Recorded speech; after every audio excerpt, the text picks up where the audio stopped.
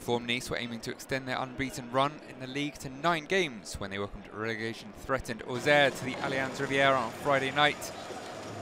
Legendary French forward and former Nice player Just Fontaine's memory honoured ahead of kick-off. Great man scored 42 goals for Nice. The hosts had been in great goal-scoring form themselves during a stunning 3-0 victory in the Côte d'Azur derby away at Monaco. Fifth win in six games under Didier Digard. Auxerre with 20 points and nine places worse off than Nice at kick-off. They nearly took the lead with the first attack of the game and were the team to break the deadlock. Matthis Abline with the cutback and Gauthier Hein firing between Kasper Schmeichel's legs to grab the opener and perhaps continue Auxerre's recent recovery. Dante making a mess of an attempted tackle.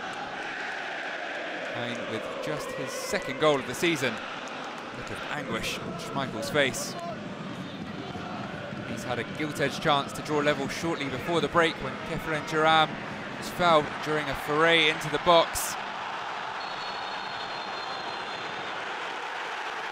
Pointing to the spot, referee explaining his reasoning to the defenders.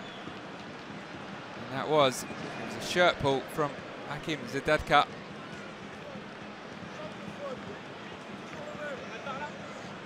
Clearly visible on the replay. Gaetan Laborde be the man to step up. But Ionut Radu saving the penalty. Romanian keeper with another strong performance. Revelation since joining on loan from Inter Milan in January.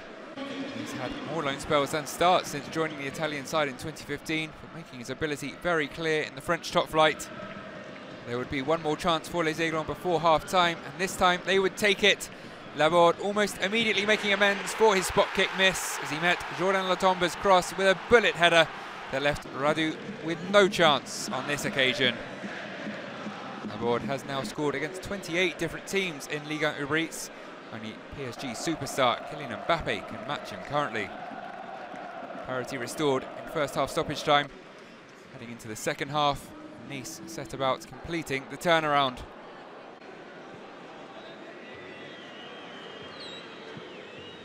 Terem Moffi came close to making it 2-1 soon after the restart. Isaak Toure deflecting his effort wide for a corner. As the striker pointed out, he did so with his upper arm. The officials decided no penalty. Hicham Boudaoui was the next to try his luck for Nice, letting fly from the edge of the box. And for his shot to come back off the woodwork. The hosts now into their stride. Auxerre hanging on a touch. But hang on, they would. Nice ended the game with more possession, but they couldn't make it tell and ultimately had to settle for a 1-1 draw. Another important point for AJA. Digard remains undefeated, but his side's charge towards Europe is slowed down for now.